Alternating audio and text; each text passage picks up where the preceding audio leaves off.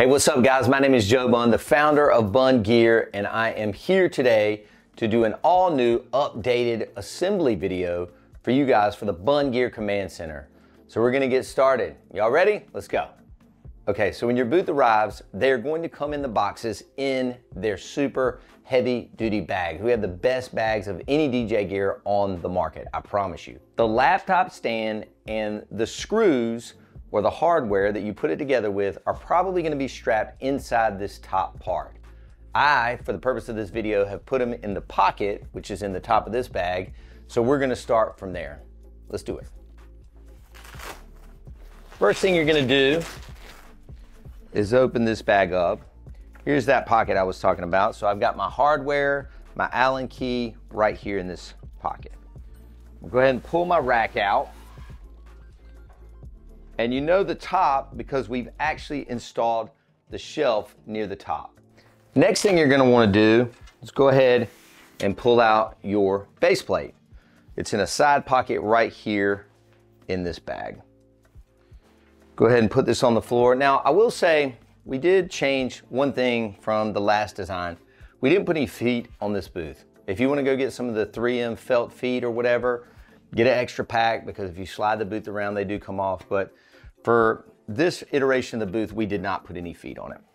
Okay, so we got our base plate on the floor, we got our rack out of the bag, go in our little pocket here and grab our thumb screws. So you'll have eight of these thumb screws, four for the top, four for the bottom, and you'll see four washers in there and an Allen key. That's the only basically hardware bag you'll see usually taped inside this when it comes shipping. So the washers that come in that clear bag with your other hardware, you don't have to use those, but if you're gonna leave the booth put together, I'd probably use them on this base plate assembly. All right, let's get this thing put together. So basically you're gonna put your rack on top of the base plate, and then you're just gonna bend down here. And it's pretty easy to do. You can either line up your main hole here in the bottom, or if you just shift it a little bit, you can start to see where the threads come through on these holes here. So you can line that hole up, or you can line these small ones up. And then what I do is I just start putting in these thumb screws, but I don't tighten them all the way down. I just make sure they go in, they thread a couple times. So now all four are in and all I'm gonna do is just go back around and give them a good crank down.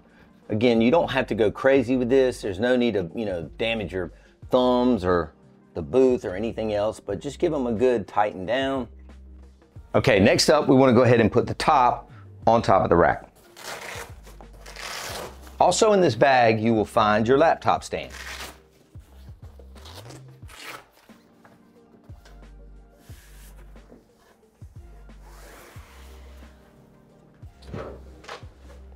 So the open end goes towards you. This end towards the audience, obviously. Got two handles built here on the new rail system, if you wanna pick it up like this. Same thing, line up the big hole, grab your four screws, come up and in from the bottom. I have to kind of shift it around a little bit. Just a little bit of movement there. Again, don't fully tighten them the first time you put them in. Move it a little, there we go. So there it is, all four are in now. Again, I'm just gonna go through and tighten them up. We'll do two at a time if you want, looks like. You can see them coming through here. You, know, you made a good connection. And now you've got the whole booth pretty much assembled. So guys, when you pull your top part out of the bag, you're probably gonna notice this. See this brand right here, the Bunn Gear logo? This probably has like a, almost like a masking tape top on it. What you're gonna wanna do is grab a credit card and simply go over that before you peel that off. So leave it on there, take your credit card, smooth it down, and then slowly grab the corner and peel it down. Okay, so now that the booth is set up, there are some initial adjustments that you have to make to the booth before you can take it out to a show. Now keep this in mind. These are things that should take maybe 30 minutes tops with this new rail system that I'm getting ready to show you guys. But unless you change your controller, you don't have to do it again. So do this stuff in advance of the event at your house or your studio or wherever. And then when you get to the show and actually set this up, it will take you less than five minutes. All right, let's get into some of this initial setup. So as I said, your laptop stand and this adapter here are probably gonna ship inside your top. It's probably gonna be strapped down in here so it doesn't bang around in transport to you. So you take it out and then you're gonna pull the screen thing off first. Now this is different from the older booths and I'm going to show you how to install this piece first. So I took the green thing off the stem of the laptop stand and the first thing you're gonna do is just take your Allen key. This, by the way, is a three millimeter. And just go ahead and take these screws out. So depending on where you want your laptop stand is where you're gonna put this green piece. I need to come up with a name for this. The point of it is so that when you put the laptop stem in here and you crank down on these screws, the laptop stand can't spin. That's what this is for.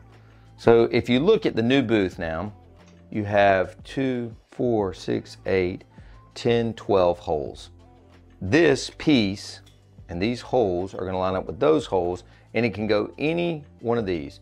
As you can see, when the booth ships, it comes with the rubber grommets down here. So you can do either one of these. I prefer mine on the right side, the far right, and then I run my cables up through here. So we're gonna do that now. So again, you're just lining up these holes with these holes right here. You got your screw and your washer. Just line that up, and that's threaded there on that back rail. Just go ahead and put that right in. And then do your other one.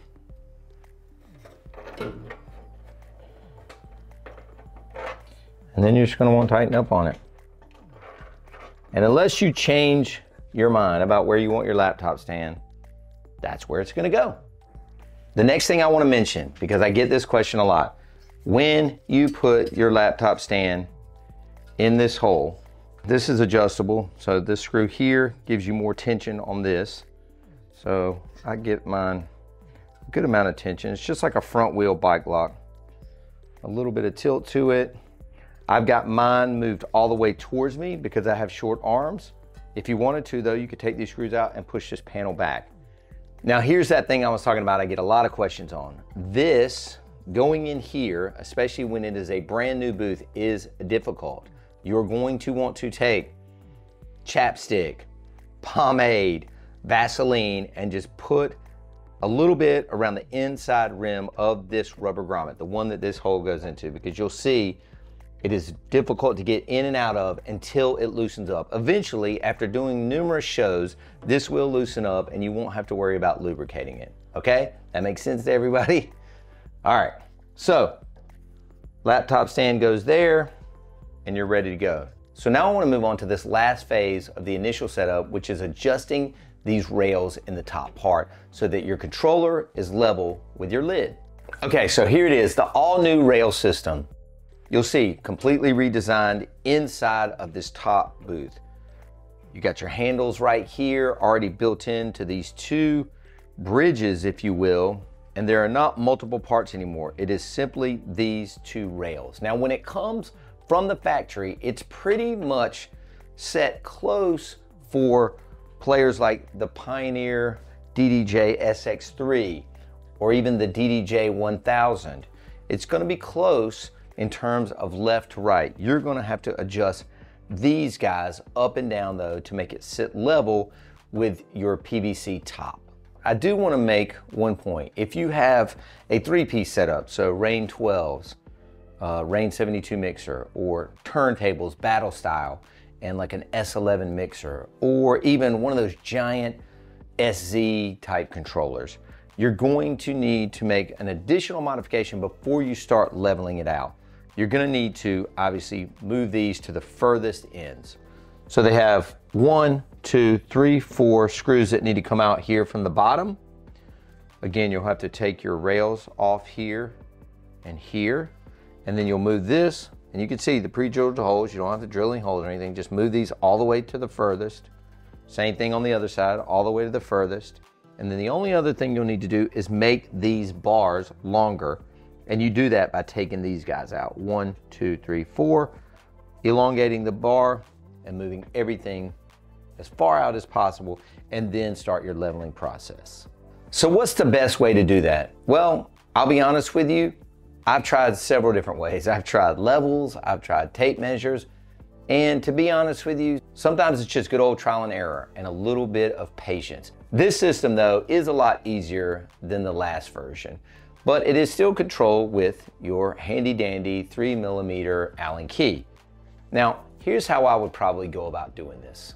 I'm gonna grab my controller and I'm gonna put it on those two crossing braces. Then I'm gonna grab my lid. Yes, I did add a cup holder. It's really easy to do. So I already see that it needs to come towards me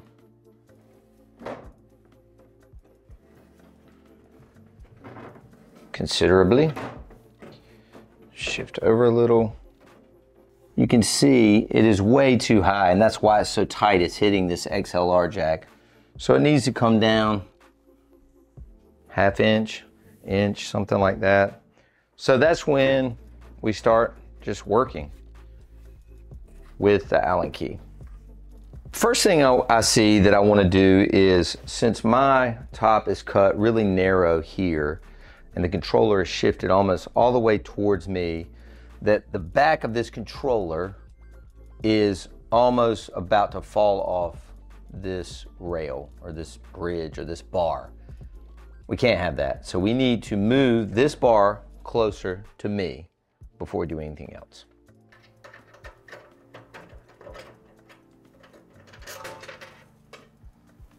So I got the pieces out on each side now. I kind of set those aside, but my bar is still stuck in there. So what I need to do is just shorten this little bar and there are one, two, three, four Allen screws here that I need to compress the bar. I just need to loosen them a little bit.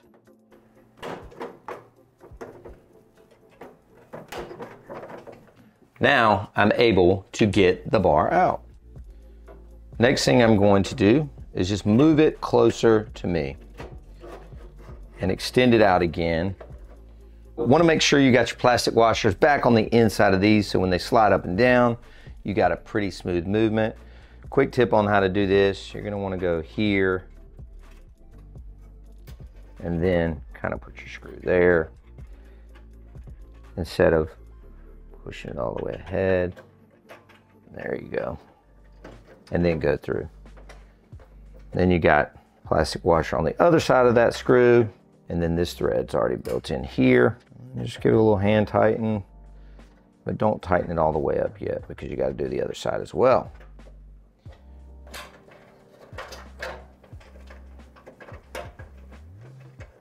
So now, as you can see, we've got movement up and down these tracks here. So now is where you need to start leveling out your controller. And definitely a pro tip is to loosen these four screws on this inner bar and to loosen both of these before you start trying to do a ton of movement. I'm gonna start a little lower than this front bar because that is how we saw that it was too high. And then I'm just gonna tighten down on these side screws for right now. What you might wanna do is have yourself a little level as you're doing this, or maybe even a little bit longer one than this. On this first rail here that I installed, it's pretty close from left to right. So now let's bring this one down and try and make it level with that and do another test fitting. Again, you're only gonna have to do this one time. Don't panic.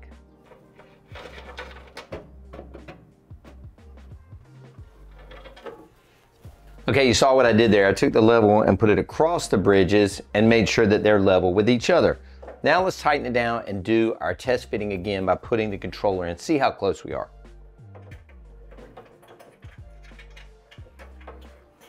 Okay, let's take test fitting number two.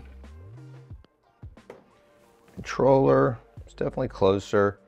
Definitely not hanging off that back rail now. Let's see how we're doing here.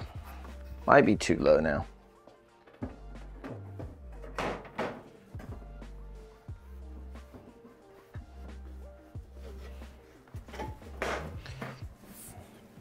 So it needed to probably come up like a quarter inch. As you can see, it's a little too low. So here's what's hopefully our final fitting and we're back to our level. So we're setting the level on the edge of the table or the edge of the command center and then the other end of it on the actual controller itself so that when it's level in this middle bubble here, we should be able to stop. So we need to loosen both of these up again.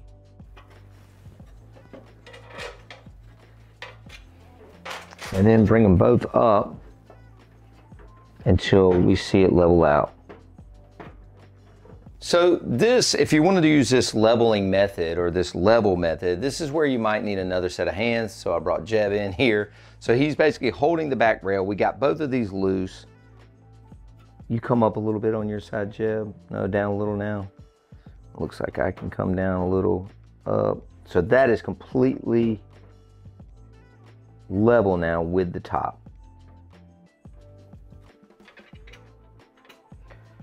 Now I'm just gonna crank back down on these while the level is still sitting there. So left side's done. We're gonna come around on this side and do the exact same thing. Okay, so we tested out this new leveling method. Let's see how the lid fits.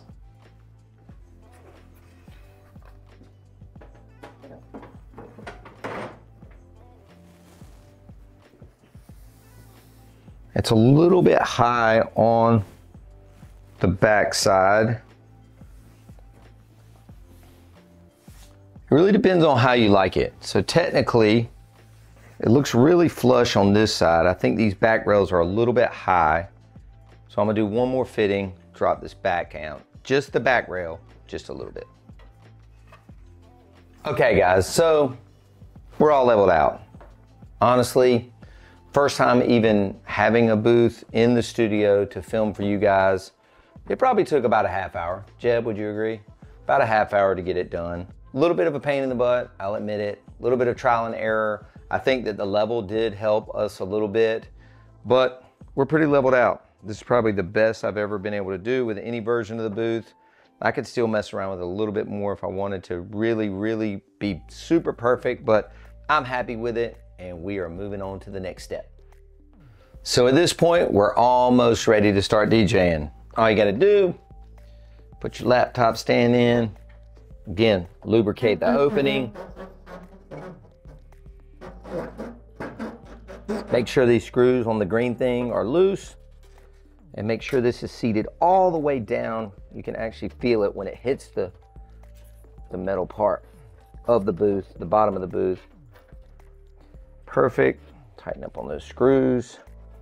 Two black screws on that green piece.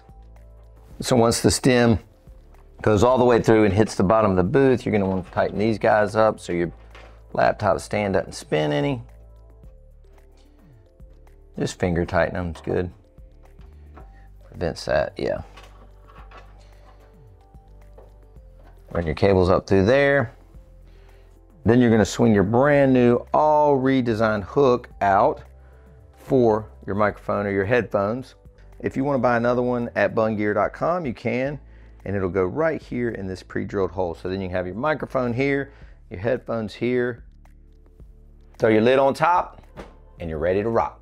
Now, some of you guys may have bought the antenna kit for your antennas that have BNC connectors on them, and you'll see that the booth when it ships, comes with these little Bunn Gear branded plugs on the side.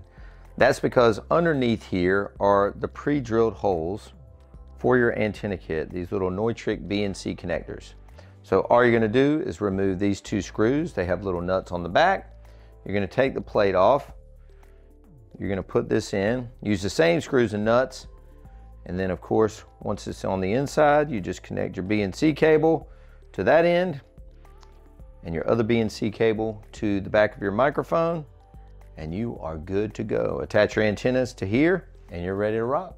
Okay, one more thing I wanna talk about is this rack and we actually added two more rack spaces. So this is a 12 space shallow rack if you wanna mount microphones or a custom panel from NLFX to have all your connections brought down here or maybe a processor or anything like that, or if you just want to have shelves in here, uh, you can get those at bunngear.com as well.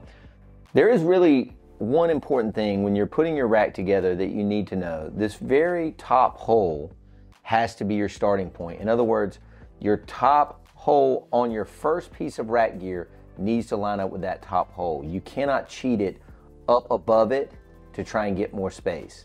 Again, the top hole on your top piece of rack gear needs to line up with this very top left and right holes and then start building your rack down. You've got 12 spaces and then you got plenty of room underneath even if you went and filled the whole thing up to put your extra cables that are running to your speakers. I use that for my little extra cable cubby, if you will.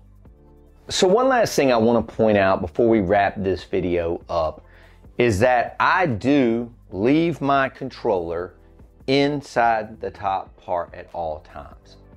How? I basically take this controller and I use heavy duty Velcro and Velcro it to the rails that are inside. Then, before I pack it up, I put one of these heavy duty, handy dandy deck savers on top to protect all the knobs and such. And then you can wrap a bungee around it or anything else to keep this on so that it doesn't fall off. I would take my four screws out. I would take my laptop stand off. I would fold my hook in, pull it out, and then here is your biggest pro tip of the day. Instead of trying to set this bag up and put your gear in it, somebody else showed me this. Take your bag and drape it over your gear.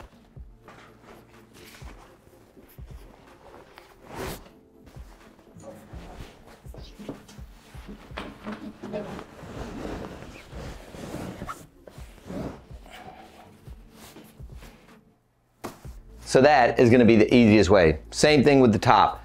Stand the unit on its side, take the bag, drape it over the top. Common sense, but I was missing it the whole time as well. Don't feel bad. So that's it guys, from taking it out of the bags to setting it up, to assembling it, to adjusting the rails, to putting it back in the bags. I think you've pretty much seen it all today.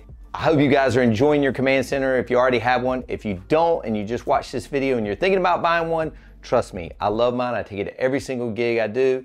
The users, the buyers that have had these, and we've shipped them all over the world, they love theirs too. You can go to Bunn Gear Fans on Facebook and look at that page and see all of the different setups and modifications they've made, or even our Instagram at Bunn Gear. Thank you guys so much for the support. I'm out.